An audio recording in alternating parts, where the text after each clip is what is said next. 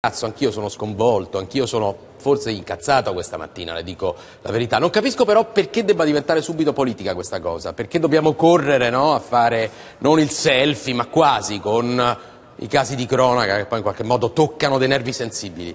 Vai Federica.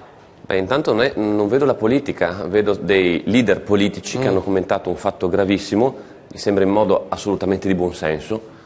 Mi sembra che Matteo Salvini abbia detto niente che non sia condivisibile, mi auguro dal 99,9% del, delle popolazioni di questo paese, sì. è chiaro che dopo esistono dei risvolti politici, non ovviamente sul fatto specifico che è drammatico e spero, come ha ricordato anche Salvini, che le persone vengano punite, ma perché per esempio dopo ovviamente la politica fa determinate scelte e quando noi diciamo che un, de, dei delinquenti devono essere puniti, poi si confrontano magari con delle leggi approvate da una maggioranza eh, in Parlamento dove per esempio ci sono sconti di pena, eh, lo svuota carceri, uscite facili. Ed è chiaro che quello, è, è, è, ovvio che dopo quindi esiste una risposta politica da dare. Dal nostro punto di vista è quella della fermezza, della certezza della mm. pena e che eh, fatti del genere vengano puniti senza alcun tipo di sconto. Mm. Eh, ripeto, i commenti mi sembrano assolutamente lontani dalla polemica politica. È chiaro che successivamente delle riflessioni sulle conseguenze che ci sono per dei delinquenti che fanno fatti come questi, ma molti altri,